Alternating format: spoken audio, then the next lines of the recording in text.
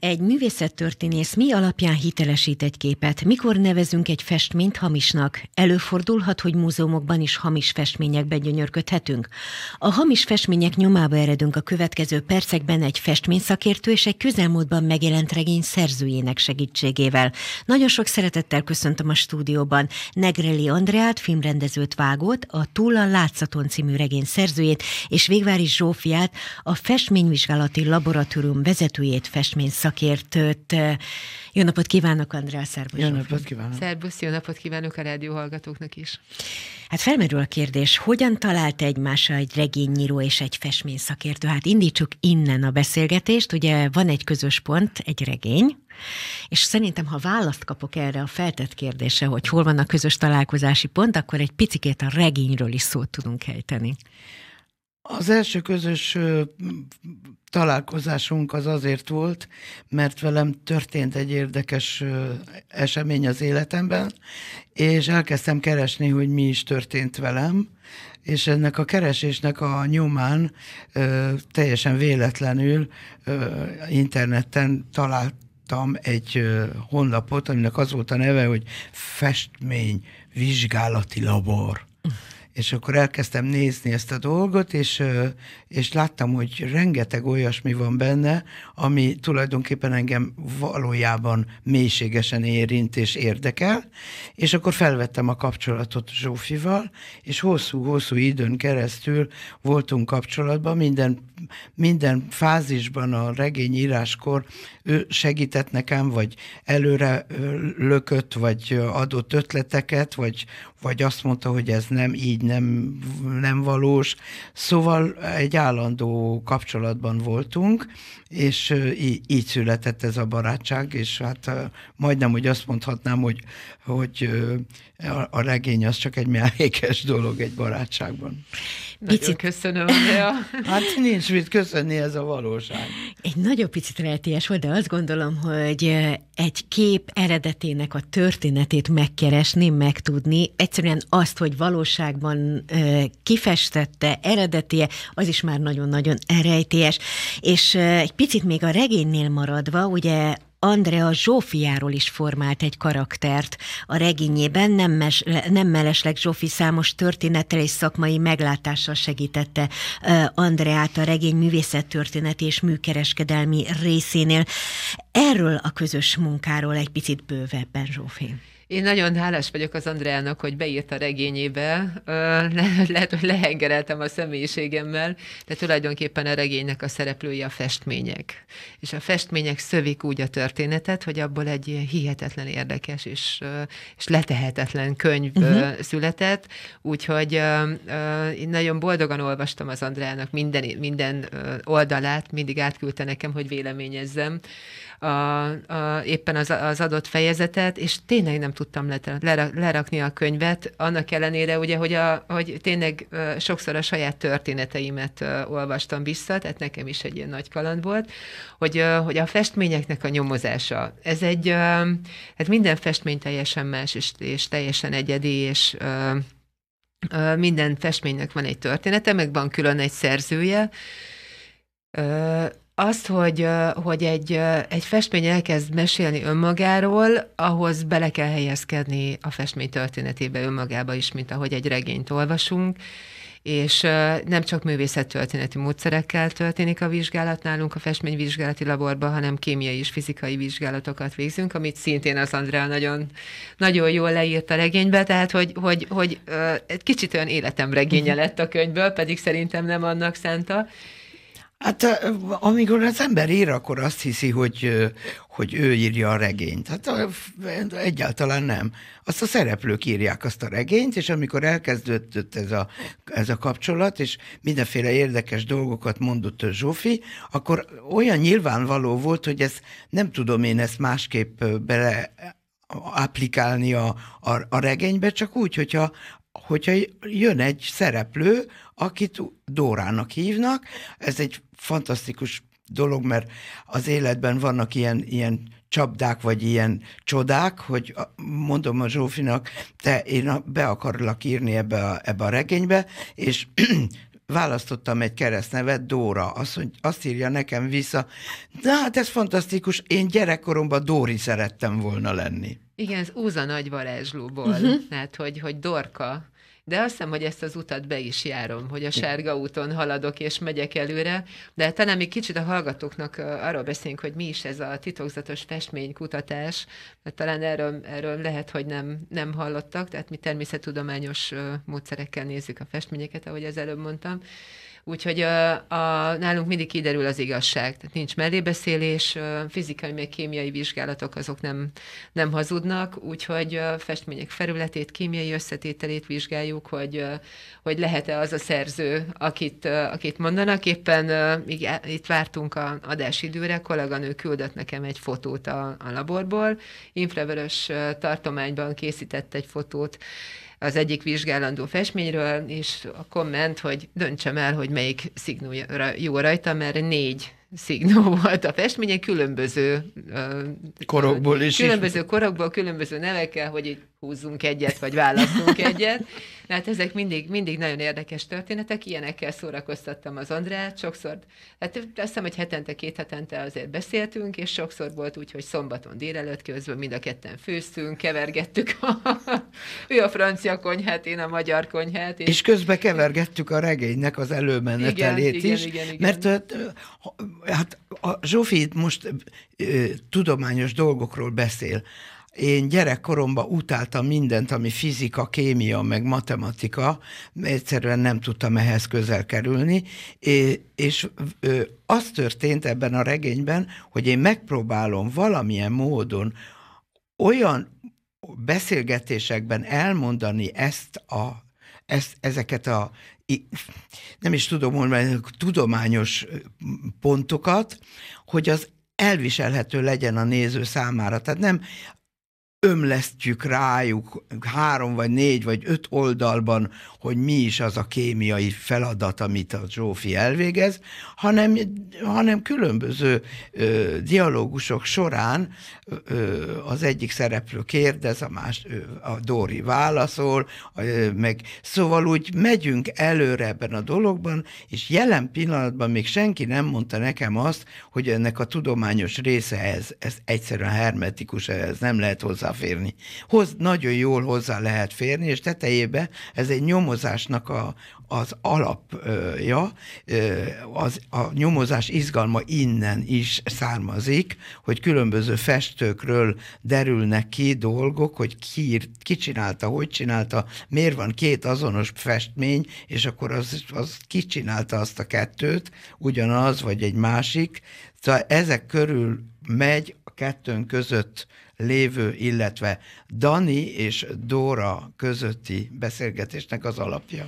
Jaj, nagyon sok kérdés felmerült bennem, menjünk is sorjába, hogy nagyon sok közös pont van a két hölgy életében. Ugye először is adott ez a könyv.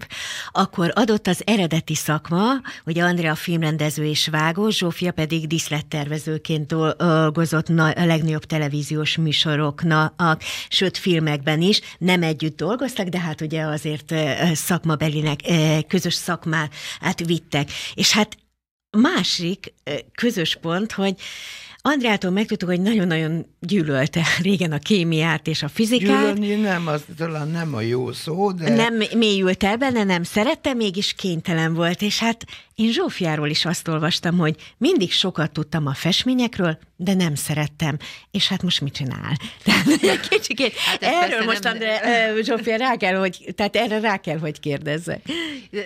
Nem, e- ez nem pontos egészen a nem uh-huh. szerettem, hanem amikor olyan természetes, hogy az embert körül festmények vannak. Édesanyám festőművész Máger Ágnes, édesapám művészettörténész volt, dr. Végvári Lajos, úgyhogy én a Miskolci Múzeumban, Hermon Otto Múzeumban nőttem föl, festmények nem volt között. menekvés. Otthon nem volt menekvés, otthon is festmények voltak, sőt kiállítás megnyitókra is vittek magukkal a, a szüleim, tehát egy ilyen, ilyen teljesen természetes dolog volt. Tehát nem rajongtam, tehát nem volt az bennem, hogy festőművész leszek, vagy, vagy művészettörténész.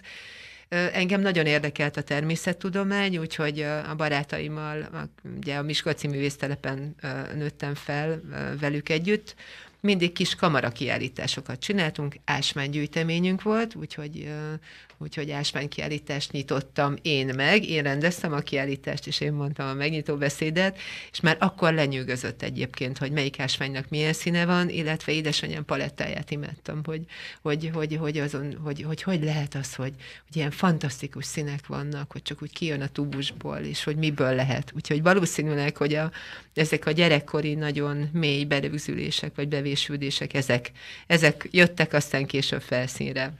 Hát akkor ez nem egy közös pont kettőnk között, de a közös pont igazából az a kép.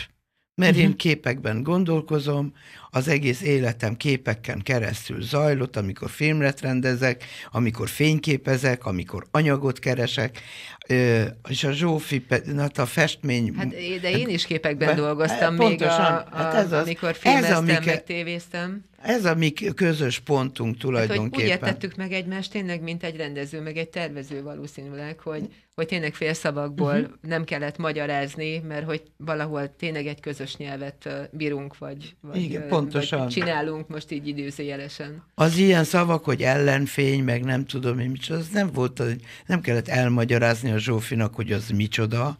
Úgyhogy ez egy nagyon könnyű munka volt ebből a szempontból. Egy szakértővel időnként az a baj, hogy annyira benne van a tudományába, hogy egyszerűen nem lehet hozzáférni. Hát itt erről szó se volt. Azért lettünk haverok. És még bocsánat, hogy, hogy a, a hogy Andrea, mint, mint filmrendező és vágó, annyira zseniális a regénye, hogy amikor olvassuk, akkor olyan, mintha már most látnánk a filmet. Mert mindig a legjobb pontokon vágja el a párbeszédeket és a történeteket, és alig várom, hogy mikor térünk már vissza ahhoz a, ahhoz a, a, a szereplőpároshoz. Igen, és akkor szívem szerint előre lapoznék tíz oldalt, hogy, akkor ezt most hagyjuk ki, de azt se hagyjuk ki, mert ahhoz az is tartozik. Úgyhogy nagyon zseniális és filmszerű, nagyon jó olvasmány, letehetetlen a könyv. Köszönöm szépen. Na hát akkor erről a könyvről, erről a történet történetről egy picit, ugye Túl a látszaton című könyv a műkereskedelem szemfényvesztőinek birodalmába vezet el bennünket. Olyan nehéz akár filmről, akár könyvről úgy beszélni, hogy eh, igazán nem mondjunk el minden, de azért valamennyit átnyújtsunk a hallgatóknak és a nézőknek, hogy legyen kedve el, levenni ugye a könyvespolcról ezt a könyvet. Hát egy kicsit a történetről. A történet úgy kezdődik a 90-es években, mint egy, ez egy francia szó, krónik szociál, mint egy szociális krónika, ez nem jó magyar szó, bocsánatot kérek. Egy, egy csapat barátok, ismerősök, már nem fiatalok, amiben a főszereplő Dani, Daniella a rendes nevén, de Daninak hívja mhm. mindenki, beletartozik, mert ezek az ő anyukájának barátai, ismerősei, stb. Ez a csaj filmrendező, érdekes, hogy rám hasonlít egy kicsit, ingázik Magyarország és Franciaország között, majd történik egy dolog, azért jön el, mert a, mert a anyukájának második férje ö, meghal, és a, a, e, ebből az alkalomból jön el Magyarországra először. Ezután a ö, haláleset után mamája ö, egy festmény ö, gyűjteményt örököl, és innen kezdődik el az a játék, hogy abban van-e, nincs-e ö, hamis kép, és ha van, melyek azok, mert egy meglehetősen érdekes gyűjteményről van szó, és amikor a mama el akar adni egy képet, mert át ö, tatarozta a lakását, illetve a házát, ki kell fizetni ennek az árát, és el akar adni egy képet, és egy képkereskedő azt mondja neki, hogy megveszi, és akkor visszajön pár nap múlva, és azt mondja, hogy az a kép hamis, illetve el lehetne adni, ha levakarnánk róla az aláírást. Ez az első kiinduló pont arra, hogy hogyan is van az, hogy amikor egy képre nem vagyunk biztosak benne, de rajta van egy szignó, akkor azt le lehet festetni, és akkor el lehet adni azt a képet úgy, hogy olyan, mintha ha valaki, nem is tudom ezt a magyar... Stílusában. Kép... Igen, igen, szóval ez a történetnek az eleje. Uh-huh. És aztán Dani egy idő után kénytelen lesz elkezdeni nyomozni, hogy mi is történt, és hogy is történt az ő életében ezzel a gyűjteménnyel kapcsolatban. Megismerkedik egy csomó emberrel Magyarországon, Franciaországban, még egy nyomozóval is, aki nyomoz, azt hiszi, hogy Dani hordozza kifelé a, a képeket Európába. Hát ez a kontextusa ennek a, ennek a regénynek, aztán a többit nem mesélem el, mert tényleg érdemes elolvasni.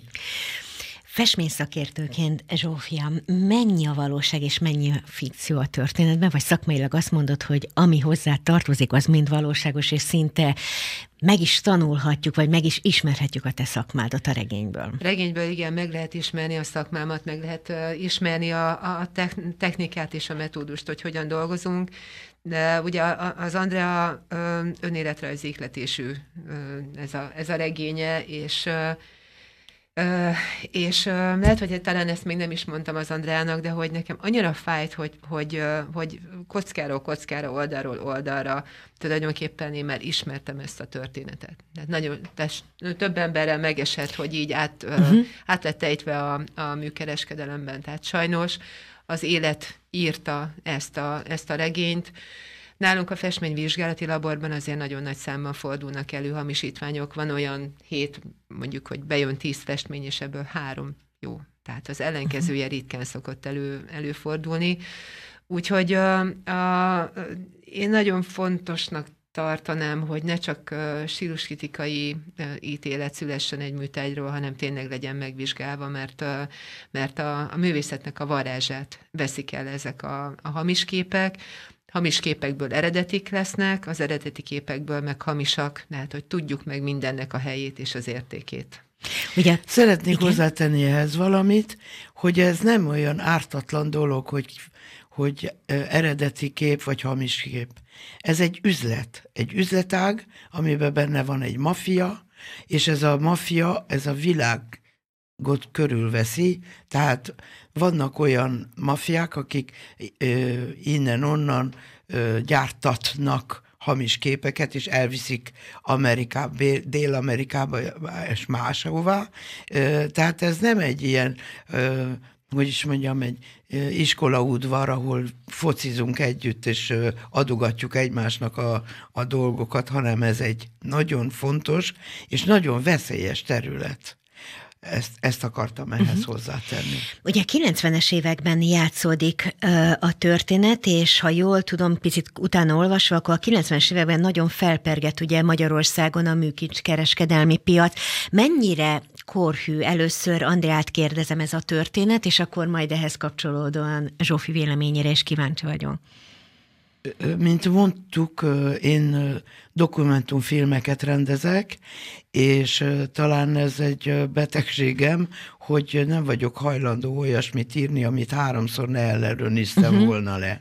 Tehát úgy kezdődött az én munkám, hogy anyagokat gyűjtöttem, olvastam, néztem, beszéltem olyan emberekkel, akik speciálisan azt a részletet ö, tudták, érintve voltak. Ö, tehát azt hiszem, hogy historikus hiba nincs a történetben. Uh-huh. Remélem, hogy ezt, amit most mondtam, ez így igaz, és senki nem fog telefonálni nekem, és azt mondja, hogy de, de, de van. E, ez az első része a dolognak. A második része az az, hogy azért a családom révén én rengeteg dolgot megéltem, még akkor is, hogyha 1973-ban mentem el innen, az kül, megnéztem egyszer a, az útlevelemet, körülbelül minden nyolcadik hónapban jöttem el ide, időnként egy hétre, időnként rövidebb időre, de szóval elég gyakorta. Aztán később itt van az internet, lehet magyar újságokat olvasni, meg tévét nézni. ezt mondjuk nem gyakorlom naponta, de azért, ha kell, akkor meg tudom nézni, hogy mi a helyzet. Zárójelben mondjuk el a hallgatóknak, hogy 1973-ban egy szerelem vitte el Párizsba, Párizs mellé, és hát gyönyörűen beszél. Hát kicsit kiadom, amikor leült ide velem szembe, akkor mondta, hogy ugye hát hosszú ideje nem él Magyarországon, és hogy hát nem minden tud úgy kifejezni. Senki meg nem mondaná Sőt, köszönet érte, és büszke lehet, azt Nagyon gondolom, hogy, hogy ennyire gyönyörűen őrzi továbbra is a magyar nyelv szépséget. Hát Zsófia, ugye a regény történetéhez kapcsolódva mennyire életszerű, mennyire jellemző az, hogy, hogy eh, pincében, padláson, vagy örökségként talál valaki egy festményt, és felmerülhet a kérdés, hogy híres festő eredeti festménye lapul-e ott kincsként, vagy egy hamisítványról van szó. Hát elképzelhető egyébként, hogy, hogy pincében, meg padláson még lehet találni festmény, bár ugye erre egyre kisebb az esély. Ez de... a 90-es években, ugye nem volt véletlen az az évszám, amiket említettünk, hogy akkor volt nagyon jellemző, hogy mindenki támadt szakértőket letámadva, hogy hú, ez a festmény biztos eredeti. Hát ugye 90-es években kitört a nagy szabadság. Uh-huh. Elindult a, a nagy aukciós piac Magyarországon, nyíltak a, a galériák, az aukciós házak, és hogy vizsgáljuk a festményeket, akkorra tehetők a, a, az, az első igazi hamisítványok. Tehát az 50-es, 60-as években még másolatok készültek, itt effektív eladási célzattal, eladási céllal készültek, és, és hogy, hogy lehet-e még találni eredetit vagy hamisat, nagyon sokszor van, hogy, hogy ezeket a festményeket elkezdték öregíteni. Tehát úgy tűnik, mintha ezek a festmények öregek lennének, és nagyon sokan beleesnek ebbe a hibába, ebbe a hinni akarok hibába, hogy, hogy azt gondolja, hogy tényleg még, még elő, hogy, hogy akkor biztos, hogy ő megfogta az Isten lábát, és akkor talált még egy képet, de egyébként lehet találni lehet uh-huh. találni, hogyha az ember levetkőzi ezt, a, ezt a, az ősi vágyat, ezt a birtoklási vágyat, hogy, hogy, hogy már első látásra is úgy éreztem, hogy ez csak mondjuk egy riprúnélet, vagy egy csak munkácsi, akkor, akkor még, uh-huh. még érdemes járni a padlásokat, a piacokat. Valóban a magyar kereskedelemben előforduló képek 70%-a hamisítvány, óriási szám, bár amikor azt mondta nekem néhány perccel ezelőtt, vagy, vagy azt mondtad, bocsánat, mit tegeződnek, azt mondtad nekem, hogy 10 festményből három volt eredeti, akkor valójában ez a szám Igen, valós. de a festményvizsgálati labor tényleg arra való, hogy hamisítványokat szűrjön, de, de volt már olyan sajnos, hogy vissza kellett küldenünk aukciós házba, amit valaki sok pénzért vett. Tehát oh. egy, egy olyan, olyan festményt. Kikerülhetetlen. Tehát nem, biztos, hogy nem direkt történt, hogy, hogy, hogy benézte egy, egy aukciós ház. Tehát pont a, a, az Andrea regényében van egy nagyon érdekes történet, amikor van egy festmény, és annak van egy másolata is. Már a másolat is legalább 70 vagy 80 éves, mert annak is van repedéshálója, már az is koszos, és, és nem látszik rajta, hogy, hogy, hogy, hogy mikor szignálták. Hát simán jó indulatból is, jó hiszeműen is be lehet nézni egyébként, vagy össze lehet keverni két képet. Hát van egy csomó olyan festő, aki tanítványa másolja, Igen. és tudok olyan festőről, nem mondom meg a nevét, aki aláírta ezeket a, illetve szignálta Szignál. ezeket a képeket, mondván, hogy levette a, a, a lábáról azt a, azt a fáradtságot, hogy azt megcsinálja hát, azt a képet. De mondjuk ki, tehát például Iványi Grünbadnak a, az utolsó korszaka. Hát még azt is tudjuk, hogy ki csinálta azokat a képeket. Vagy, vagy, vagy nézzük meg a, a munkácsinak a műhelyét. Tehát azért olyan kaliberű művészek dolgoztak ott, mint uh, Riprónai József, Karlovszki Bertalan, Bruk Lajos, Fritz von Udelt, uh, lehetne sorolni. Tehát mindig a nagymesterek után jönnek, Persze. jöhet, Persze, jöhetnek, jönnek a, a még, még nagyobb mesterek, igen, Persze. akik először tanítványként indulnak, de hogy, hogy ugye a hamisítványokat pont, hát hogy itt nem, nem a, a mesteris tanítványa kapcsolatról van szó, hanem effektív másolatokról, amik hirtelen eredetik lesznek és az eredetik pedig, pedig hamisítványok, ahogy beszéltük. És akkor lassan a beszélgetésünk vége felé érünk, és eredeti, hát eredetileg francia nyelven íródott ez a regény. Kérdezem, hogy ott már akkor megjelent? Tehát ott olvassák? megjelent magánkiadásban, jelen pillanatban meg lehet venni papíron vagy e-book formában, hát a szokásos helyeken. Ne is menjünk ebbe bele, mert ez egy kicsit már eh, ugye a kereskedelmi reklám eh, mesdjén lapozunk, hanem arra vonatkozóan eh, tettem fel a kérdést, hogy mekkora sikere van. Tehát Magyarország ugye most jelent meg, Párizs környéken, vagy Franciaországban már olvashatják, tehát itt a beszélgetésünk végén a kicsit a visszajelzésekről, visszajelzésekről Andrea. Akik nekem írtak, telefonáltak, és olvasták a könyvet, azok minden, mindenki rendkívül jó véleményt mondott a könyvről. Voltak, akik feltettek kérdéseket Magyarországgal kapcsolatban például, és megmondom őszintén, hogy én meghatódva tapasztalom, hogy valami olyasmit írtam, ami, ami tetszik. Hát most majd remélem, hogy többeknek fog tetszeni, mert itt lenne az ideje. Úgyhogy még egy dolgot hozzá akarok uh-huh. tenni, hogy a, hogy a, a Dóra figura ebben a könyvben az egy nagyon jó pofa, szimpatikus, jó, jó, jó kiállású csaj, aki, akit érdemes csak azért elolvasni, mert, mert egy ilyen szimpatikus nő, fogd a füledet, a, a, a, az viszi előre a történetet, és én ezt nagyon szeretem, ezt a részét. És ez nagyon szimpatikus az eredet. az eredet is rossz, igen. Így van, így van. Sőt, Zsófi, szeretném, ha visszajönni, mert annyi izgalmas kérdést nagyon felvetettünk itt a, a képek eredetének a vizsgálata kapcsán. Nagyon köszönöm Negreli Andreának, filmrendező Vágonak a Túl a Látszaton című regény szerzőjének, illetve Végárai Zsófiának, a festményvizsgálati laboratórium vezetőjének, festményszakértőnek, hogy velünk töltötték. És itt voltak az elmúlt hú, hú, 30 percet beszélgettünk. Köszönjük Köszönöm szépen. szépen. Köszönjük.